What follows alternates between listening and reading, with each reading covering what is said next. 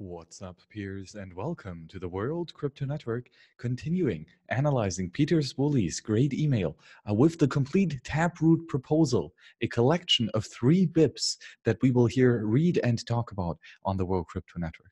We have already finished the Schnorr BIP, uh, which is which was the first one.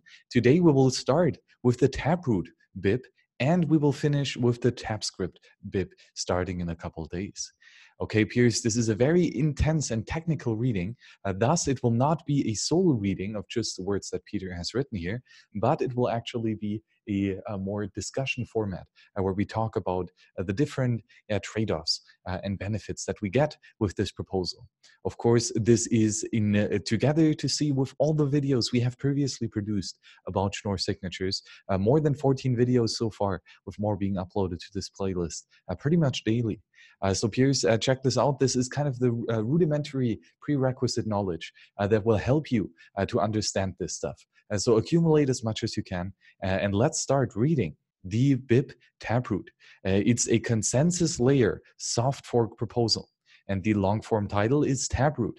SegWit version 1 Output Spending Rules.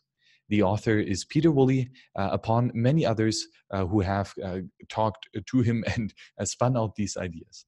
Uh, comment summary, no co official comments yet, uh, thus no comment URLs. The status is a draft. So this is a very early BIP version. we really need a lot more stuff to talk about before we have a fully functional implementation that will run on your own full node. But it's good to accumulate this knowledge so far type a standard track uh, and credited uh, to many people under the BSD 3 clause license. Okay, so this entire paper has, of course, a table of contents, and today we will read the instructions, uh, sorry, the introductions with the abstract, copyright, and motivation. Uh, the design is a thing for its own uh, on the, the, network or, or, on a separate part, uh, talking about all the nuances that go into thinking why exactly uh, we choose this design in the draft here. Uh, and then in a separate video, the specification, uh, really detailed about the tagged hashes, script validation rules, signature validation rules with hash types and transaction digests. This is probably going to be two or three videos uh, just to somewhat dismantle the technical side of it and to make sure that it's not as convoluted uh, and complicated. Uh, I, will try to do my best. then construction, uh, constructing and spending Taproot outputs. Uh, also some on the security and test vectors with some rationale. I guess they go good here with the design philosophy behind it and the deployment. Uh, also talking a bit about the backwards compatibility since this is a soft fork and of course a acknowledgement of all the peers who contribute to this very in-depth paper. Uh, of course, uh, this uh, uh, we have talked about Taproot uh, um, in several Optech newsletter readings, as well as a reading of Gregory Maxwell's original post to the mailing list of Taproot and Graftroot, as well with some other uh, stuff. Uh, so again, a lot of this knowledge is already on the World Crypto Network, and this is one addition to the archive that you can check out for free. Okay, uh, introduction. So this document proposes a new SegWit version 1 output type with spending rules based on Taproot, Schnorr signatures, and Merkle branches. So this is SegWit version one. Uh, if you remember the current version of segregated witness that we got in August 2017 uh, is version zero. Okay, and now we do the first upgrade to version one and it's a major upgrade. We can also do minor version upgrades, uh, then from 1.0 till 1.16, uh, I believe.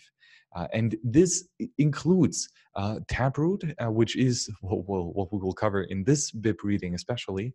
Uh, it is a collaborate or a uh, based on well, it is a culmination uh, of Schnorr signatures, which we have discussed in the last couple readings of the BIP Schnorr, which is just a very efficient and beautiful little cryptography algorithm that is used for generating or well for uh, signing with a private key a message so that a public key uh, can attest uh, to the validity of uh, the signature and that it has been done by the signer. And Merkle branches, uh, Merkle trees uh, are, of course, where Bitcoin money is growing on top of. it's a way where you can hash individual uh, entries into a database and then proof uh, with a Merkle proof that uh, lays out one of the trees or one of the uh, roots of the tree structure uh, that how they are connected, the leaf to root. and this is what is used in Bitcoin all over the place, and it is combined with Schnorr signatures in this Taproot proposal. And the copyright is that this document is licensed under the three clause BSD license. So, the motivation. A number of related ideas for improving Bitcoin's scripting capabilities have been previously proposed. Schnorr signatures, which is BIP Schnorr, Merkle branches, which is MAST in BIP 114 and 117, new SIG modes, which is BIP 180, and new opcodes like check SIG from stack, taproot, graftroot, groot, and cross input aggregation. So this BIP builds on all of this stuff. Uh, so again, this requires rather a lot of prerequisite knowledge. So uh, check out, uh, do the readings of these BIPs. There are a couple great articles for each of these topics um, on, for example, the Bitcoin magazine written by Aaron van Wirdum. Uh, of course, the World Crypto Network, we've covered pretty much all of this stuff already previously. Uh, so there is knowledge out there, uh, seek it and accumulate it so that you can understand this combining all these ideas in a single proposal would be an extensive change, but hard to review, and likely miss new discoveries that otherwise could have been made along the way. Some of these ideas are also less mature than others. On the other hand, separating them all into independent proposals would reduce the efficiency and privacy gains to be had and complicated analysis of their interactions. It seems preferable to focus on one global set at a time, uh, sorry, on one goal set at a time, and combine interacting technologies to achieve that. Uh, so again, this is now a, a BIP that is focused on Taproot itself. Okay, so not really going into MAST, uh, but utilizing Merkleized abstract syntax trees. Uh, and also not talking too much about Schnorr signatures, but utilizing the Schnorr process. Uh, and of course, graftroot and taproot are, things then that that will come at a, uh, future point in time. We will first focus on taproot, and then later uh, think about how we can use graftroot or groot and cross input aggregation then.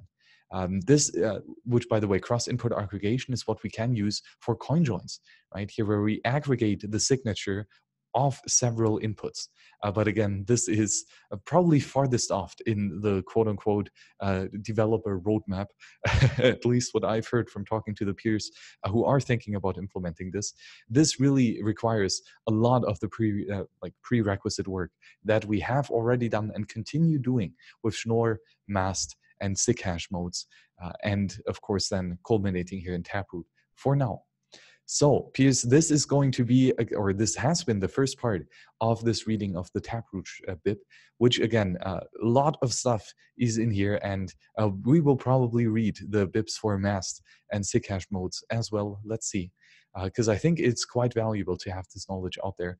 And I hope that my blabbering alongside the reading uh, helps you a little bit uh, to be to, to package this information more approachably and to hopefully clear up some of the references that are being made here but again as with everything i'm just one dude falling down the rabbit hole. Uh, so uh, don't trust me uh, but verify for yourself right? Actually go back to the sources uh, and read all the original mailing list posts and conversations all the forum posts and all this.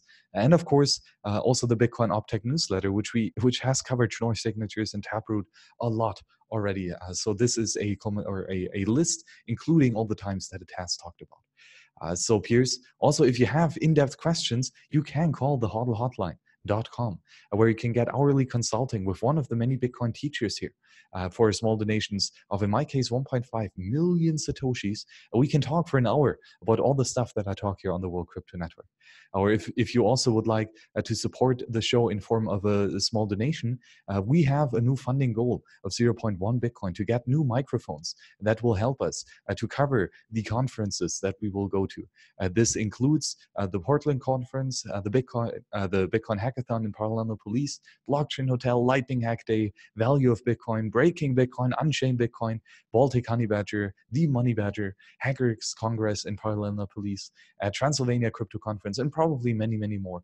Uh, so if you think this content is valuable, join one of the 17 uh, donations and make sure that we get the funding goal uh, reached, hopefully soon. Uh, so, peers, thank you very much for joining us today here on the World Crypto Network and see you on the next show. Bye bye.